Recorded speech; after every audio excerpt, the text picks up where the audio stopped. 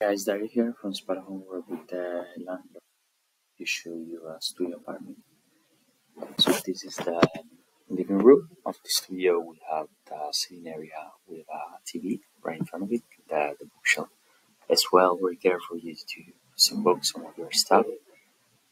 You have, as I mentioned, uh, the like sitting area with the sofa. There's also a coffee table. We have a mirror here for you to maybe check your clothes or outfit before going out. This is the kitchen, and as you can see, it comes with a microwave. There's a fridge, freezer. You have the cupboards up and down, big windows on the right side, and then here you have the bathroom. It has the toilet, uh, the shower, which is right here, and you have a big uh, shower head on top. There's the sink, mirror, and here on the left you have a, built-in storage space. Perfect. Then here we are back again into the to the living room. Just go a bit on the left here. You'll see that you'll have uh, uh, just the sleeping area on the top part.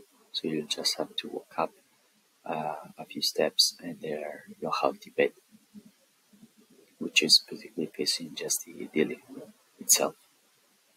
Great.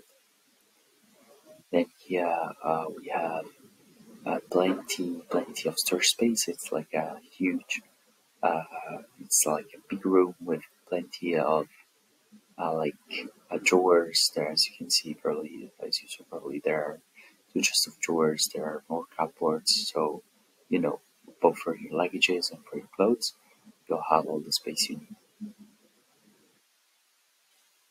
Perfect.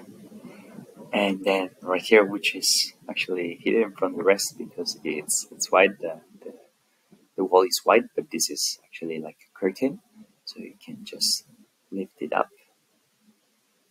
And basically, right behind, uh, you'll have the door that goes into the patio of the apartment.